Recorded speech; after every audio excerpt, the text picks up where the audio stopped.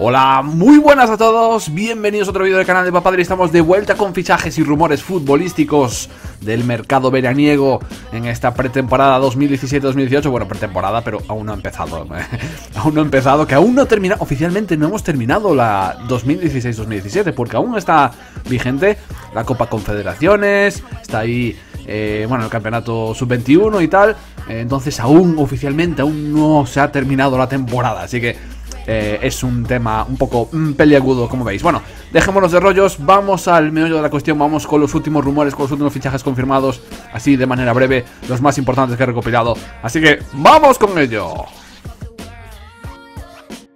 Bueno, comenzamos con un rumor de actualidad que es eh, la Juventus que se ha fijado en un refuerzo para su costado izquierdo. Hablamos de portugués Rafael Guerreiro, el joven de 23 años, que como recordaréis hizo una Eurocopa buenísima, buenísima con Portugal, en esa Eurocopa donde los portugueses lógicamente fueron los campeones, y que eso provocó su fichaje por el Borussia Dortmund. También en Dortmund esta, esta temporada ha hecho un grandísimo papel y la Juventus eh, está ya a punto de preparar una oferta para hacerse con el lateral izquierdo portugués.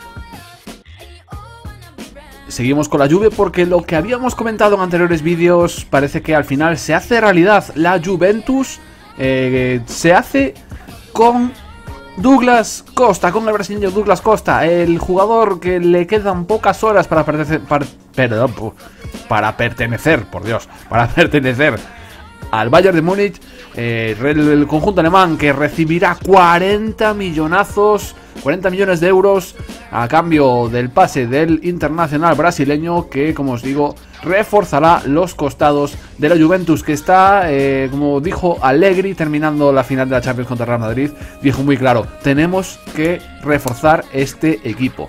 Van a por lo más alto y es por ello que está teniendo mucho movimiento en el mercado la Juventus.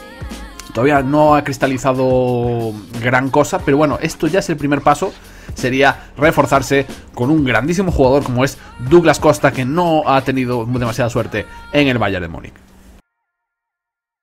Al final, Irving Lozano, la gran promesa del fútbol mexicano, abandonará Pachuca, pero no se va al Celta de Vigo como se había hablado anteriormente, sino que se va a Holanda, al PSV Eindhoven, donde tenemos ahí a otro mexicano como es eh, Andrés Guardado, el Principito, el exjugador del Deportivo de La Coruña, entre otros.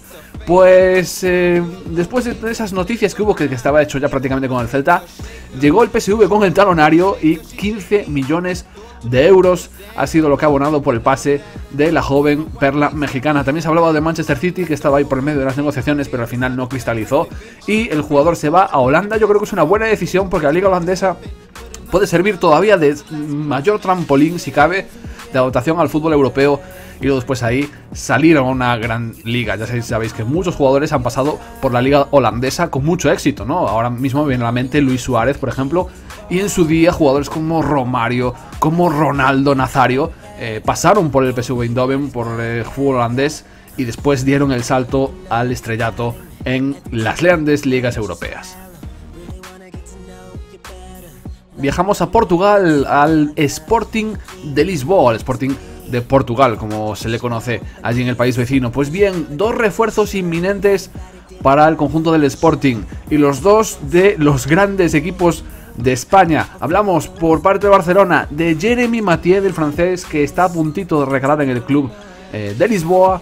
Y por el otro lado, por el Real Madrid vendrá Fabio Contrao. Están los dos a puntito, a puntito de confirmarse. El caso de Fabio Contrao es una cesión de un año, pero con opción a compra. Y en el caso de Mathieu, desconozco hasta qué punto está el contrato negociándose. Yo creo que va a ser un traspaso directamente, que el Barcelona ya no quiere contar más con este jugador y más con la llegada de Ernesto Valverde al banquillo del Camp Nou. Pero, como os digo, dos refuerzos importantes para el Sporting de Portugal en su lucha eh, por el campeonato con Benfica y con el Porto en la Liga Portuguesa.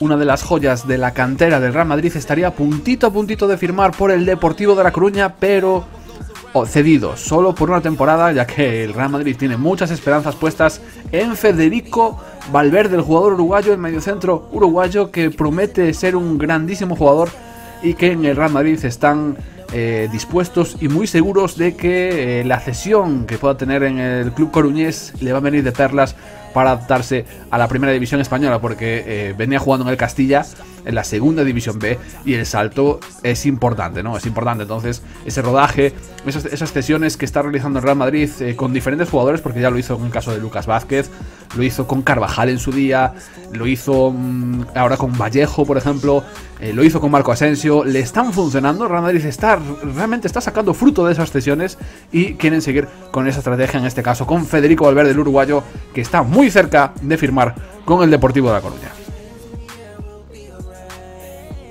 5 millones de euros es el importe que pagaría el Inter de Milán para hacerse con el español Borja Valero, un jugador que ya sabéis que lleva muchos años en la Fiorentina, que está plenamente adaptado al a la Serie A, al calcio, y que eh, estaría dispuesto a cambiar de aires y marcharse al Giuseppe Meazza para vestir la camiseta del Inter de Milán, lo que sería un gran salto en su carrera, a pesar de que el Inter tampoco es que esté en sus mejores tiempos, ¿no? Parece que los dos clásicos de Milán eh, el AC Milan y el Inter de Milán eh, están un poquito de capa caída y necesitan eh, volver otra vez a ser los grandes todopoderosos de fútbol italiano que eran antes, ¿no? Y también sería muy bueno para todos y para el fútbol europeo, fútbol mundial en general, que los grandes clubes de Milán volvieran a la gran escena.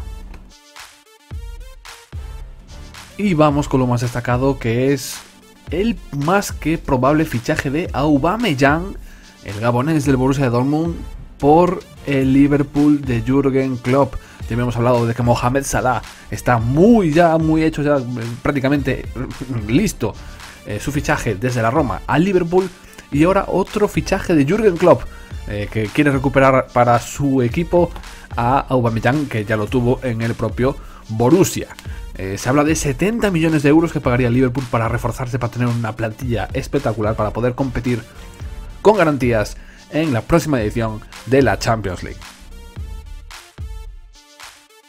Y terminamos pues con una noticia que la verdad es que estaba bastante cantada, pero que sorprende.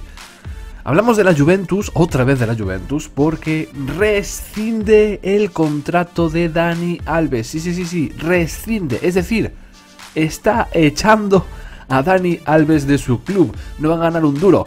Simplemente eh, le liberan el contrato porque, eh, bueno, también eh, el propio brasileño, ya sabéis cómo es, ha forzado la situación porque se rumorea que ya tiene hecho un acuerdo con Guardiola para ir al Manchester City.